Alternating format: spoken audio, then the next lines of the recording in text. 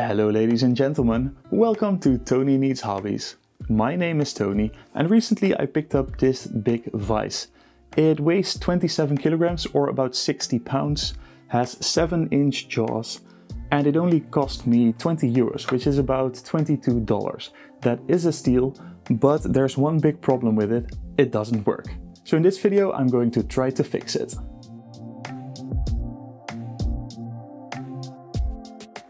This vise is in decent enough condition for me to use it, so I'm going to fix it and not restore it. And in order to fix it, let's first have a look at what's wrong with it.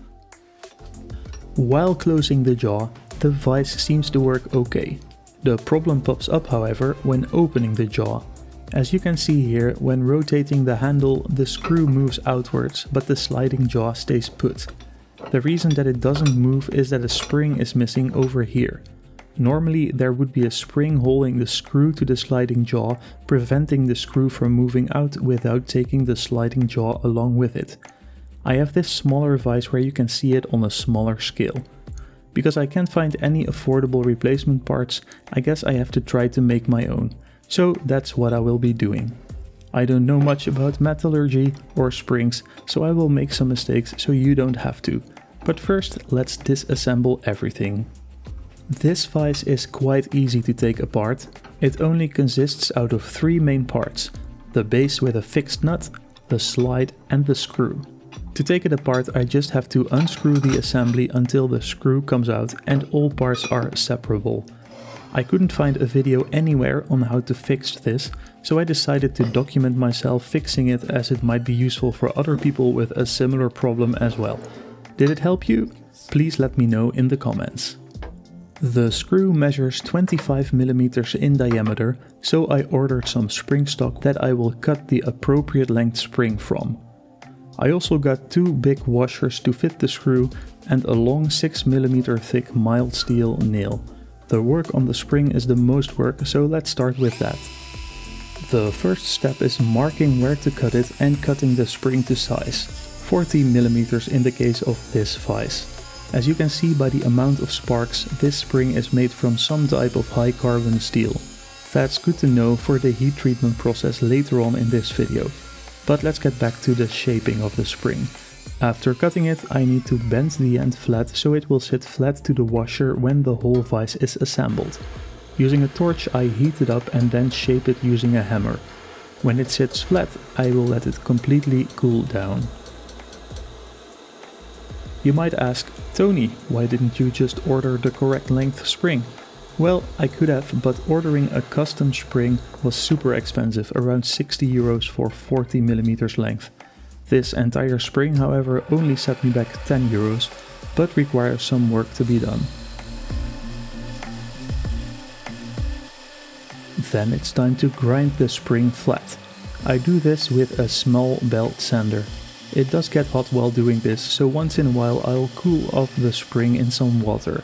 I really enjoy seeing those beautiful sparks, but be careful and wear personal protective equipment, in this case eye protection, hearing protection and of course respiratory protection as well.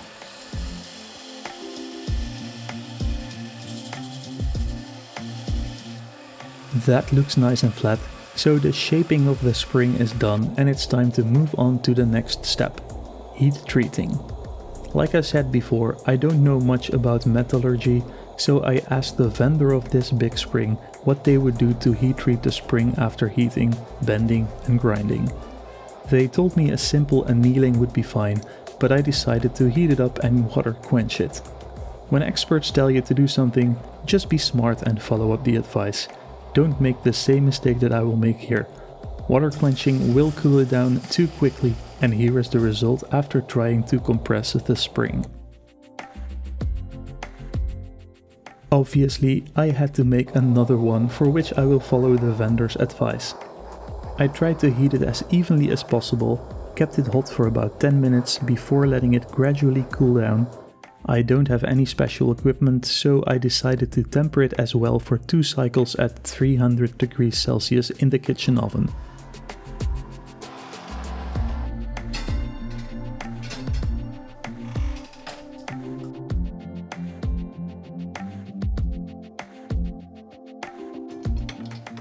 That worked well.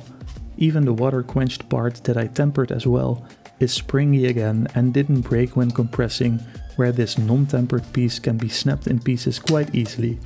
Looks perfect, so let's prepare the other parts. From this 6mm mild steel nail the head will be cut off after which it will be cut into a 40mm piece. It will hold the spring and two washers in place to secure the screw to the slide. Cutting it is easily done using a hacksaw. With a file I then take off any burrs. To the washers I don't have to do any work. They are very cheap so I bought the exact sizes required. 25mm inner diameter with a 40mm outer diameter. With all the pieces finished the vise is ready to be assembled again. I did clean all the dirty surfaces and took away any old hardened grease, so I first apply a generous amount of ball bearing grease to all contact surfaces, because ball bearing grease is what I had plenty of lying around.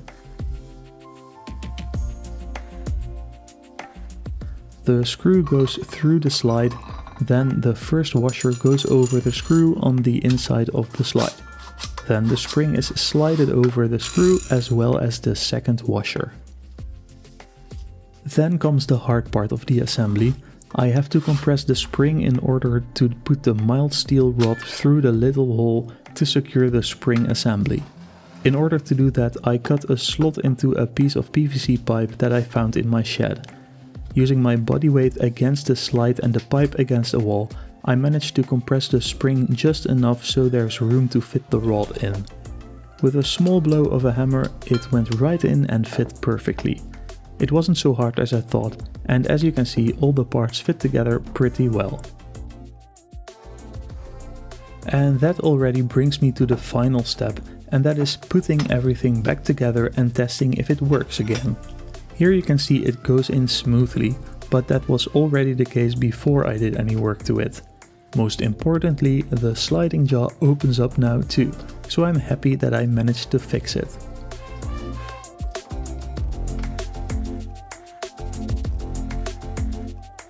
Well, it was a challenge, but I managed to get this vise back in perfect working condition.